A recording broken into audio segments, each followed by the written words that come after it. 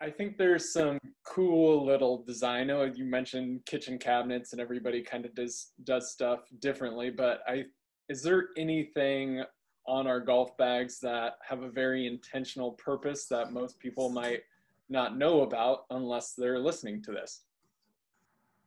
Yeah, for sure. There's um there's definitely features throughout uh, each and every model that um, could potentially go unnoticed um, if people aren't looking too closely uh, at their bags. And I'm going to lean on your technical expertise here uh, and ask maybe you can you can splice in some imagery and make this look really good. But uh, the first one I would say uh, on the hybrid 14, uh, there is a cart strap tunnel on that bag.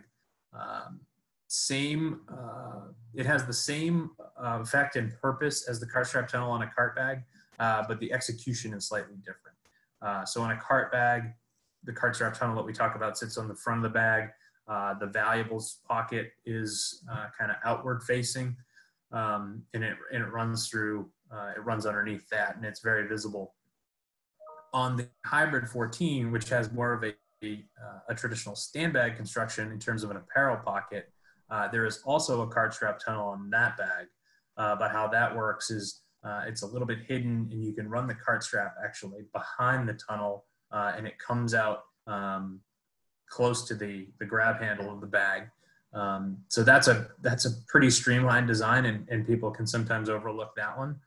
Um, but a very, very cool feature and very functional if you're, uh, if you're loading your hybrid 14 on a push cart or a riding cart. Uh, the other, uh, I would say this one is, is almost always overlooked. Um, and this would be really a, a hidden feature uh, that you, you don't find unless you need it. Um, is uh, is a zipper inside of our, excuse me, a zipper inside of our apparel pockets. At the very bottom of the bag, there's a zipper inside the pocket that allows you access into uh, the club well. Uh, this is a, a, good feature uh, in the event that you drop uh, your phone, your keys, uh, anything that you you didn't intentionally put down the club well uh, and wanted to to get that out. Uh, you can do that without having to take all of your clubs out and flip the bag upside down. Um, we we always reference this.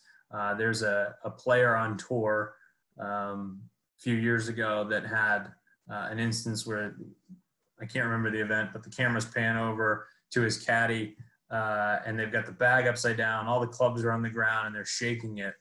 Uh, and so we're watching it, trying to figure out what what happened to the bag or what what they're after. Uh, and it ended up being a Reese's cup. Uh, so there was a tour player uh, that emptied his bag looking for Reese's cup, uh, and that kind of gave us a little motivation to to put a zipper in the in the stand bags and, and provide some access to that in case anybody out there drops a Reese's cup down the club well doesn't want to empty their bag on the side of the fairway.